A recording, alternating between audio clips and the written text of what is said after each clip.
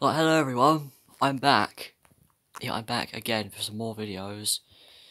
And, well, more of the upcoming videos are actually Doctor Who Adventures.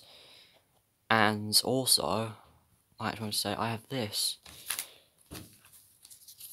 I have the card, like 5,666 new Merlin. Like, I actually beat Merlin Cardigan at that Ziggy's Blast quest, right? Just like I said in the, in the description below that video. Right, but I have proof. I, I, well, this is the proof I've done it though, and I'll show you the clip he did on YouTube for it. And also, I don't know if, if, if in the future of my channel that I hope the quality, I don't know if the quality on the videos will get a bit kind of, you know, the, the, the quality like LQ, that's it. I, I, I learned that. Yeah, I don't know if the quality is going to be L, um, LQ because I might have to film my bloody tablet in the future though. I'm hoping not, but I just want to say I'm back. Yeah, and I'll and I'll show you I'll show you proof in the video. So I, I got it here on the on the thing.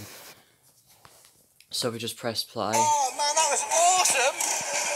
There he is, Merlin, Merlin Oh himself. goodness me, that was so Merlin cool. That Cardigan. Fantastic. I don't know. I think we did all right.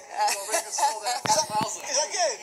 Oh, that is cool. Right, let's have a look. Four, 5,427. Oh yeah, nice teamwork stuff. Oh, I don't know. If, I don't know if you can actually see that, but the score's meant to say uh, five thousand four hundred twenty-seven. Oh, I might, I might, I might try and get it. oh, Like, can you see that? Like, like it's meant to say four hundred fifty, like fifty-four. 27 on there, it like 'cause that's the actual ride thing, but I decided not to film on the ride though when I went there. Well, I mean, I showed you the entrance tour, didn't I? I know. Okay. Right then. Yeah, I hope you guys think.